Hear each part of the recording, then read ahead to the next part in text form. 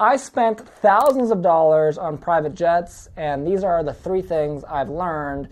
Because I don't know about you, I used to think that was crazy. I'm like, dude, why on earth would you spend $1,000 or $2,000 on a flight or more to fly somewhere when you could just pay Southwest Airlines like 200 bucks to fly there? And what I've realized is there's three distinct advantages that you can gain from flying private. You can afford it. And by the way, at the end of this video, I'm going to show you guys some actual footage of me on the private jet. So you know I'm not just making this up because there's some YouTubers that they're just like they claim things they've never even done, which is absurd to me. And I don't want to do that. So you'll see at the end of this video some videos of me getting on the plane, talking about my experience and all that. But let's talk about the three reasons why I recommend it. Number one is time savings. Okay, when I fly private, I have to show up to the airport 10 to 15 minutes before my flight actually leaves. When I pull up to the airport, they have someone come and they take my car and they park my car for me. And then they take my bags and they carry my bags for me onto the plane. That's all I have to do. I literally just get in a, a golf cart, they drive me to the plane, and I walk on the plane. That's it. That's the extent of my entire effort when I show up to fly private. When you fly commercial, as I'm sure all of you know, you have to show up like an hour and a half before, or maybe two hours before and then you go through security, and then you know you get yelled at by TSA to take your belt off and start stripping. And it's like really weird, right? And then you get in like this machine, and you like put your hands up, and then they always find something wrong, right? They're like, oh, you know, you, your acne cream, like we need to take you into custody, and you're like, dude, I just want to have clean skin. And they're like, ah, yeah, we don't care, right? It, it makes no sense, okay? It's it's completely ridiculous. I mean, it makes sense from a standpoint we want to keep people safe, but at the same time, not very time efficient. So. That's the biggest benefit right there. Number two, the stress saving. So I just kind of talked about going through TSA. I, I really don't like being stressed out while I'm traveling. You know, I don't know about you. Have you ever flown somewhere or traveled somewhere and just been exhausted by the time you got there? And the reality is, like, if you think about it logically, like, what did I do all day? I sat in a tube and read or watched a movie. Like, why am I tired? I should not be tired. I should not be exhausted. I really didn't do anything physical.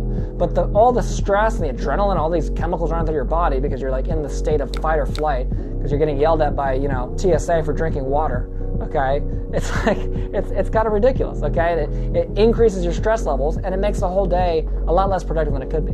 Versus when you fly private you show up there is no security. You just walk on the plane. You get there faster because the plane goes faster. You know you have all the leg room you want in the world. You don't have to worry about like having a, a karen sitting next to you that like she's trying to take the armrest and you're like having an arm you know wrestling battle with her to, to see who gets the armrest okay? Like you don't have to do any of that. You just sit wherever you want to sit and uh, you do whatever you want to do. And by the way, one of the things that always bugged me about commercial flights, for some reason, you have to have your seat in like the full upright position when you take off when you land. And I have no idea why that is. They, every time I ask one of the flight attendants about it, they just say, "Oh, it's a FAA rule," and I'm like, "Okay, but why is it an FAA rule?" And they say, "Oh, we don't know. It's just an FAA rule." And I said, "Okay, well, we just have rules. We don't even know what the purpose of them is for." Okay. Guess what? When you fly private, you can be literally turn your chair into a bed Nobody cares because it's your own plane. And then the last thing I want to talk about is the experience, and specifically the experience in flying with that level of people. When you're flying private, or in my case, I'm not flying technically private, but semi private, meaning there's one or two other people on the plane. The people that are affording these flights, that are paying thousands of dollars to fly somewhere,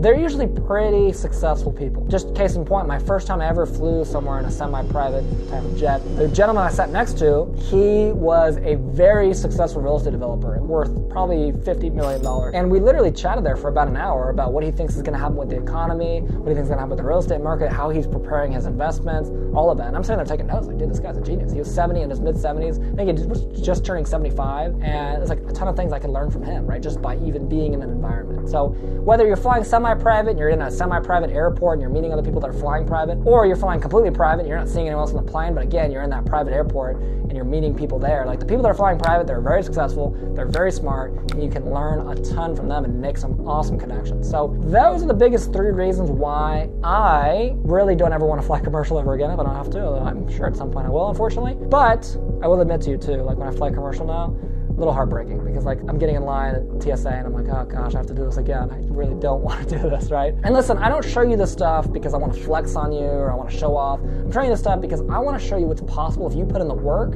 on yourself and on your career and your business. You know, ultimately you can accomplish anything you want to in life. It's not a matter of whether you can, it's a matter of whether you will right? Ultimately, perseverance counts for far more than potential does. And everybody gets the potential, it's whether you're going to persevere to see this happen. With that being said, hopefully you've enjoyed the video. Here are some clips of me flying private, and uh, you can see for yourself what it's like.